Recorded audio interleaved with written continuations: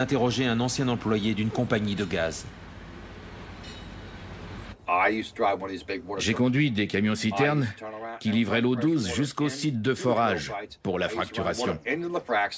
Ray a commencé à travailler pour une compagnie gazière au début de l'exploitation du gaz de schiste en Pennsylvanie. J'ai vu des fuites, des explosions. Je les ai vus fracturer et forer. Il raconte un incident qui s'est produit avec son employeur. J'arrive sur le site de forage et je livre mon eau douce. Le type de la compagnie me dit Va jusqu'à la cuve de Saumur, il y a un demi-chargement là-dedans.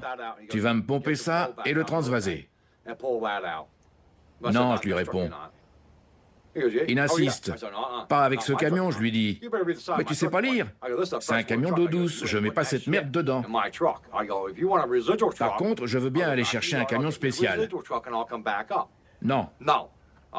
J'appelle mon patron qui me dit Fais-le, ils nettoieront le camion. Je réponds Attention, j'enregistre sur mon téléphone, je proteste, ce camion n'a pas de permis pour des chargements polluants. Et qui est-ce qu'il nettoiera Il me répond Eux. Je prends cinq chargements, je reviens et je leur demande Comment on le nettoie? Tu n'as qu'à pomper un peu d'eau douce et aller tout vider dans les temps. C'était ça leur solution. Au lieu de vidanger les eaux usées, Ray est rentré chez lui avec le camion pour faire analyser son contenu. J'ai appelé la protection de l'environnement pour qu'ils viennent tester l'eau du camion. Et ils ont refusé de venir. Mais les gens de l'université Cornell, eux, sont venus.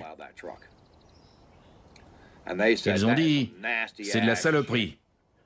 Et moi, ah oui, et mon camion est censé transporter de l'eau douce.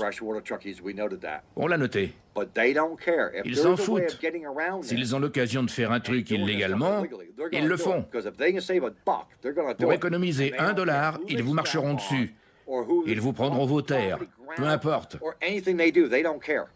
Il n'y a que l'argent qui compte, rien d'autre.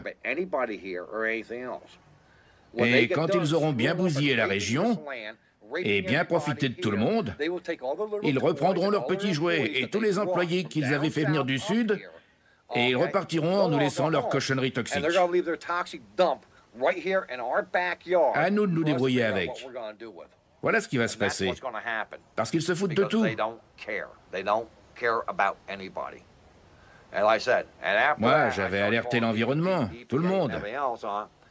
Et après ça, je reçois un appel de ma boîte. On n'a pas de travail dans l'immédiat. Prends-toi quelques jours. Ils n'ont jamais rappelé. J'ai contacté quatre autres employeurs. Rien. Je suis blacklisté. Il n'y a pas un employeur dans tout l'État qui me refera travailler. Ils m'ont fiché comme terroriste.